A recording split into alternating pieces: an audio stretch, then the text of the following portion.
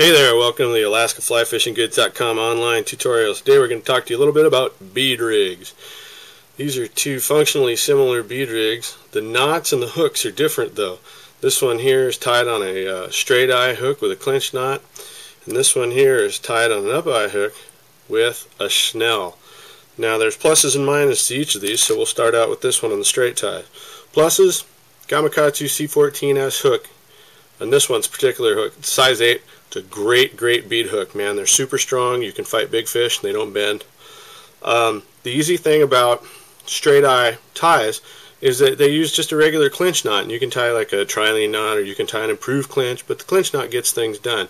It's really quick, it's really easy to tie, uh, really fast to tie. So if you snag, break off, you can get another one of these on, get them fishing right away. Now, the one big problem that I have with this is that this is basically a ring on ring tie and you can turn that hook all the way around. So when you're casting and, and your line's flipping around, you can get that hook to be basically just a chunk of iron sitting on the back there and not actually going to hook a fish. If this is a fish's jaw right here and the bead goes in, that hook, you know, it's not it's not doing its job.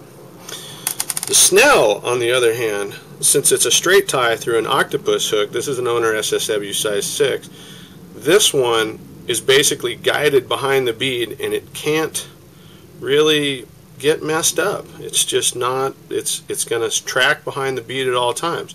So when you get your fish biting on the bead, boom, in that hook goes. Now the downsides to this knot is that it's a little bit more difficult to uh, learn how to tie. It takes a little bit more time, not that much time once you get good at it. And also you can only use this knot on up eye hooks, such as the Gamakatsu Octopus or the Owner SSW. So whichever one you choose, just remember there's pluses and minuses to both.